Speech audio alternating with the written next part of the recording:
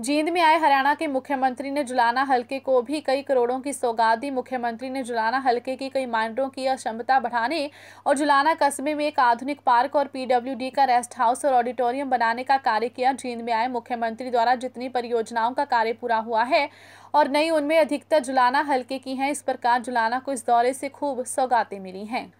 जुलाना से jar TV news के लिए विजेंद्र बाबा की रिपोर्ट।